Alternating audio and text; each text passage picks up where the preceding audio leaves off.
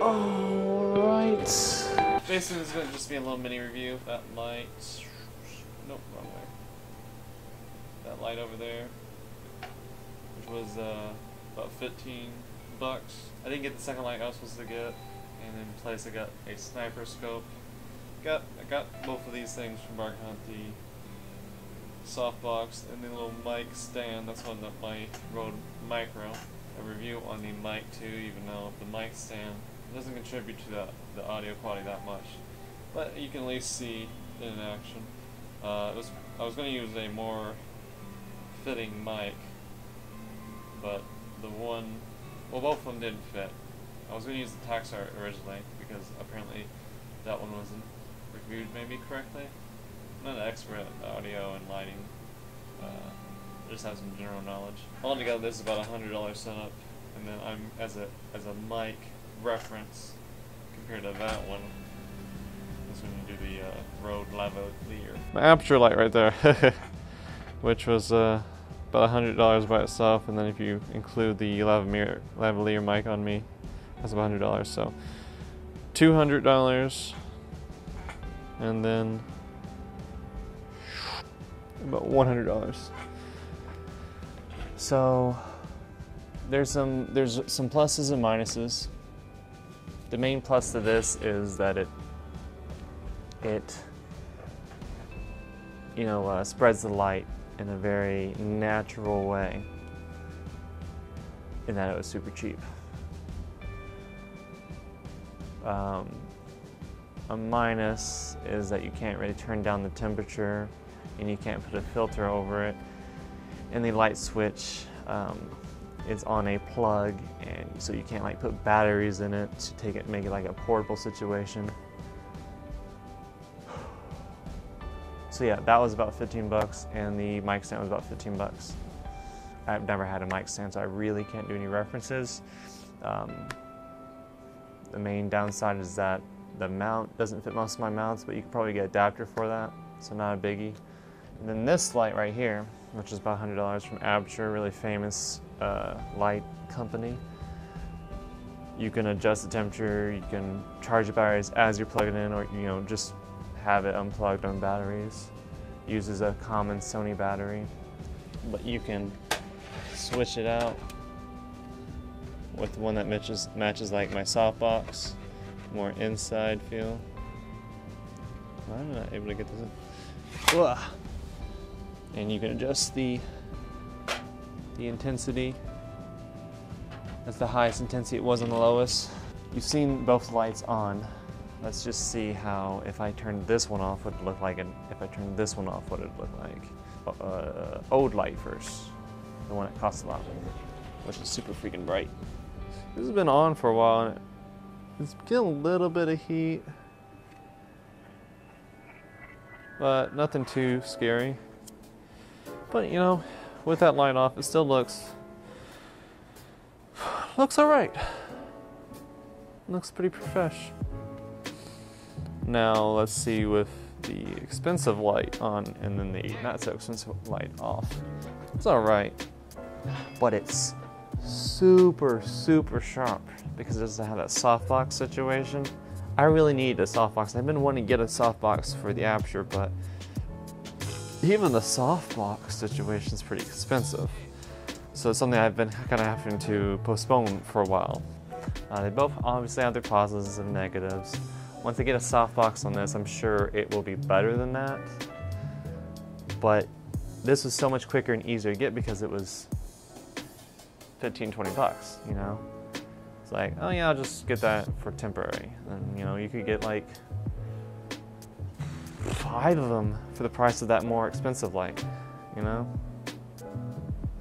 Now, I can't remember if I mentioned it, but I, this is just gonna be a, a quick show, but I did get a, uh, like a sniper rifle scope with this, uh, with this light, because I didn't get a second light, I'm guessing. Uh, probably gonna use it, try to rig it to my DSLR when I finally get one. But yeah, this is the scope from Simmons. Yeah, this is pretty cool. It kind of looks like a binoculars, you know? I was for a second to try and take off the lens, but it doesn't look like it's gonna be that easy. You ever just get excited about hearing like a little spring noise? Like you don't feel it, but you hear it, and it's just weird.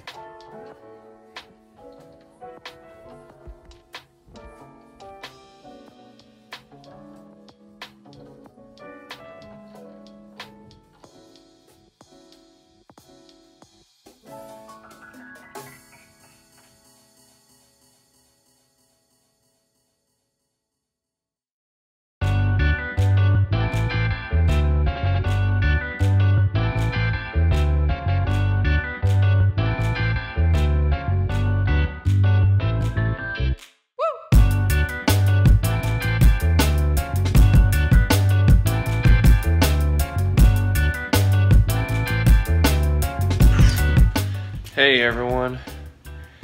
It is the morning of my procedure. I'm literally 30 minutes away from going to the orthopedic office to get my nerves burned off. I don't know how much of it I'm going to record. I am uh, recording a time lapse of uh, well, really this this section, this area, that you probably already saw a little bit before now but I've been told that I will be in more pain before less. Alright, let's get to some nerve burning stuff.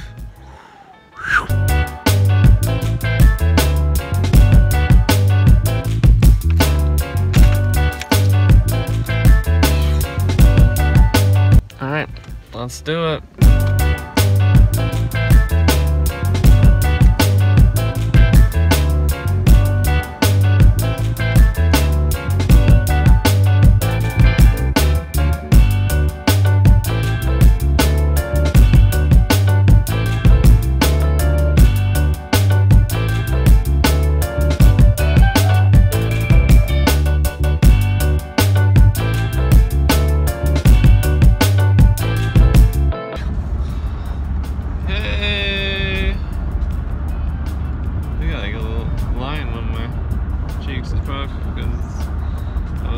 Head in this little cushion thingy.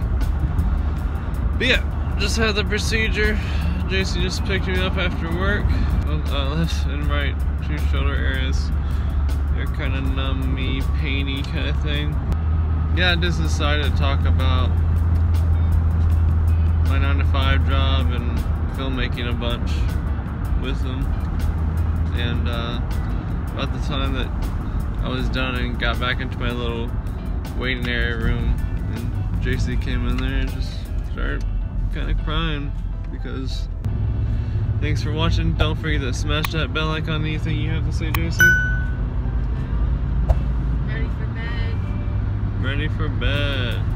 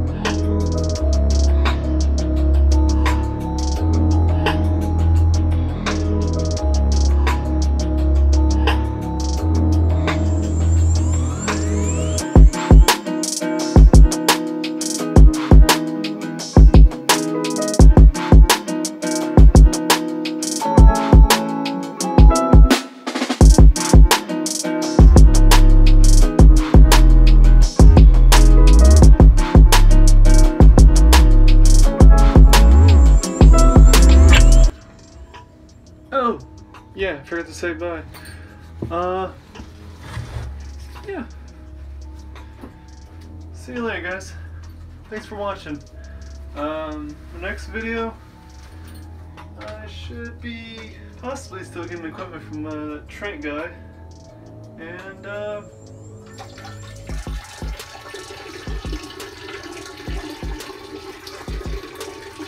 maybe a music video.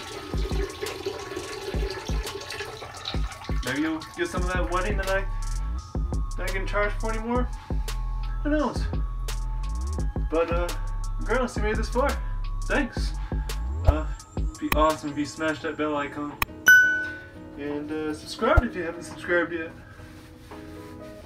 Um, otherwise, otherwise, uh, I'll see you on the uh, next fantastic video. That's all I got for you guys. Peace.